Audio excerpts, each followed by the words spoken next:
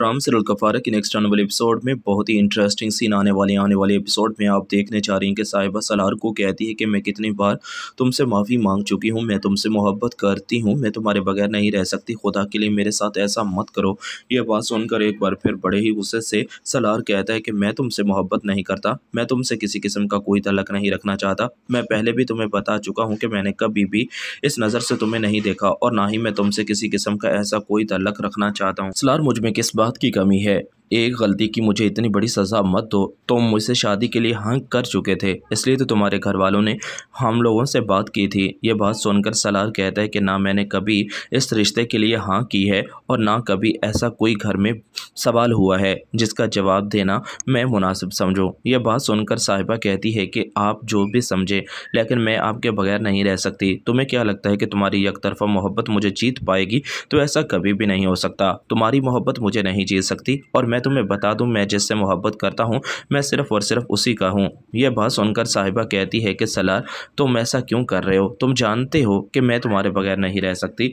मैं भी तुम्हें बता चुका हूँ कि हमारे बीच ऐसा कोई तलक नहीं बन सकता। साहिबा अपनी ज़िंदगी को बर्बाद मत करो। मैं नहीं चाहता कि अब मज़ीद ऐसा कुछ भी हो। तुम बहुत ही समझदार हो और मैं चाहता हूँ कि तुम अपनी ज़िंदगी में आगे बढ़ो। साहिबा ने कभी सोचा भी नहीं था कि ऐसे हालात हो जाएँगे। सितारा जो कि अब सलमान से किसी किस्म का कोई तलक नहीं रखना चाहती। उसे सब कुछ पता चल चुका है कि सलमान ने सलार के कहने पर ही तो ये सब कुछ किया था। सलमान एक बार फिर सितारा के पास आता है और सितारा को कहता है कि जो कुछ भी हुआ, बहुत गलत हुआ। मैं चाहता हूँ कि अब हमें माजी को भूल आगे बढ़ना चाहिए। मैं सलार को सब चीज़ें लौटा दूँगा।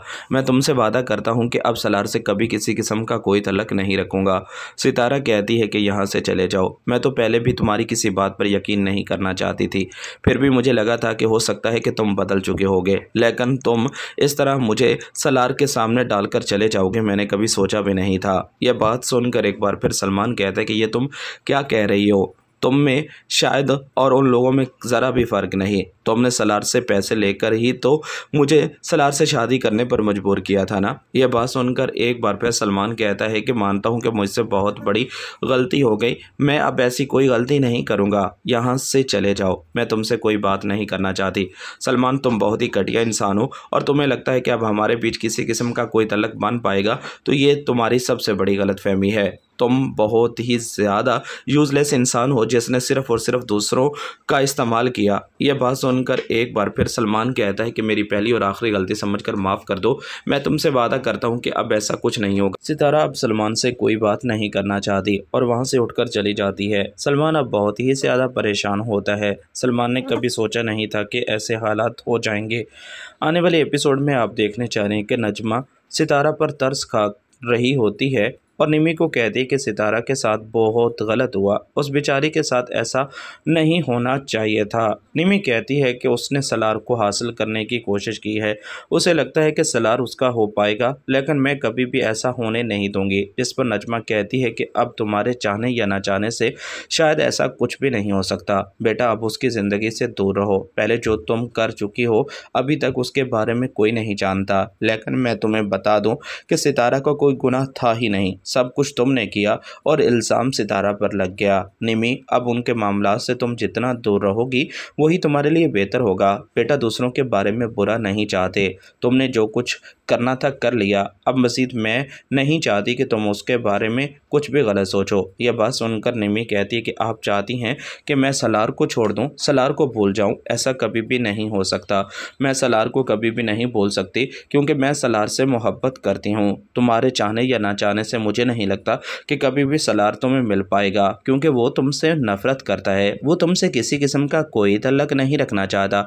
ये सब कुछ जानने के बावजूद भी तुम समझ रही हो कि वो अब वापस तुम्हारे पास आएगा तो ऐसा नहीं हो सकता। आने वाले एपिसोड में अब आप ये भी देखने जा रहे हैं कि सबा अपनी माँ को कहती है कि सलार भाई की अगर ज़िद पूरी ना की गई तो सब कुछ ख़त्म हो जाएगा। सलार अपने आप को नुकसान पहुँचाएगा और पछतावे के अलावा आप लोगों के पास कुछ नहीं रहेगा। और मैं नहीं चाहती कि मेरे भाई के साथ कुछ भी गलत हो।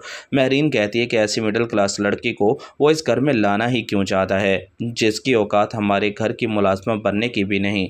यह बात सुनकर सबा कहती है कि वो आपके बेटे की च्वाइस है, आपके बेटे की मोहब्बत है, और अगर सलार को उसकी मोहब्बत ना मिली तो इसका नुकसान हम सब लोगों को उठाना पड़ेगा। मैं आपको कह रही हूँ कि बाबा से बात करें और इस बात पर आपको अब तवज्जो देनी पड़ेगी, नहीं तो बहुत बुरा होगा। सितारा और सलार एक दूसरे के बगैर नहीं रह सकते, वो एक दूसरे से मोहब्बत करते और अपने बेटे की खुशी की खातिर आप इतना नहीं कर सकती। मैं नहीं चाहती कि वो लड़की इस घर की बहू बने। मैं कभी भी उसे इस घर में बर्दाश्त नहीं कर सकती। वो साहिबा से शादी कर ले। साहिबा अच्छी लड़की है। जब आपका बेटा उससे मोहब्बत नहीं करता, उससे किसी किस्म का कोई तलक नहीं रखना चाहता तो आप कैसे मजबूर कर सकती हैं? ये सब कुछ आप आने वाले एपिसोड में देखने चाह रहे हैं। दोस्तों चैनल को सब्सक्राइब कर ले। शुक्रिया। अल्लाह हाफिज़।